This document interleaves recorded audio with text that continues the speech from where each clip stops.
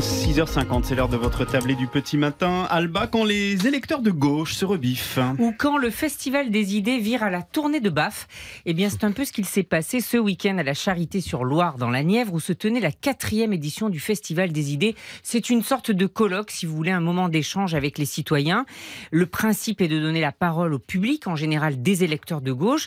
Et il y avait là euh, Olivier Faure, le patron du PS, Marine Tondelier, la patronne des Verts, et pour la France insoumise, Manon Ou encore Manuel Bompard.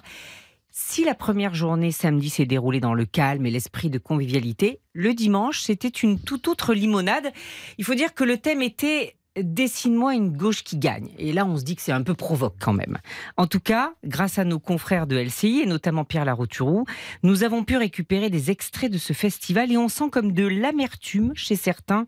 Écoutez plutôt. Effectivement, vous avez des échanges entre vous, mais avec les gens, c'est pas sûr. Alors, écoutez, ouvrez vos oreilles et ne restez pas entre vous, parce que le spectacle n'était pas très joli.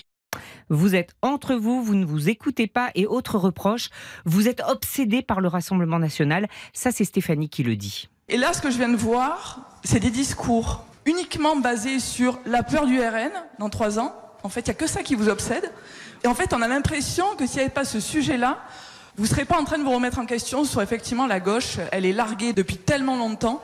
Donc en fait, soit c'est de la masturbation intellectuelle qu'on est en train de faire, soit vous vous remettez en question radicalement, mais radicalement. Mais vous pouvez faire toutes les grandes écoles que vous voulez, mais vous êtes tellement loin, mais c'est pitoyable. Elle n'est pas contente, Stéphanie. Non. Et vous savez ce qu'a répondu Olivier Faure à tout ça? Je comprends que vous soyez déçu des partis politiques. Moi-même, je suis parfois déçu de moi-même. J'hésite entre l'extra-lucidité ou le fait d'avoir touché le fond. Merci beaucoup, Alba.